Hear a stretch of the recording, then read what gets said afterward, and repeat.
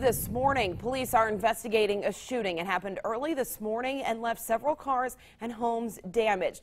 Police are also looking into two men with gunshot wounds in connection to that shooting. It all happened on North Upper Street around 3 o'clock.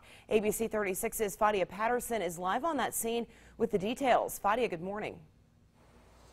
Yes, Katie, good morning. You can see the scene is still pretty active just behind me. Police say that at least three homes and two cars were hit in that shooting near Upper and 6th Street. Police say that this all happened at around 3 o'clock this morning. They say they received several calls from neighbors in the area saying they heard at least 12 to 20 shots being fired. Police are canvassing the area to see if any other property was damaged. And around the same time of the shooting, officers were called to the hospital about two males in their 20s being shot. Police say the gunshot victims tell them they were driving near the Lyric Theater on 3rd and Ohio Street when they were shot. One was hit in the upper body and the other hit was hit in the lower body. Police are saying they believe those are non-life-threatening injuries. Police say they're looking into whether the two cases are related. We'll bring you more updates as they become available. For now, reporting live in Lexington, Fadia Patterson, ABC 36 News.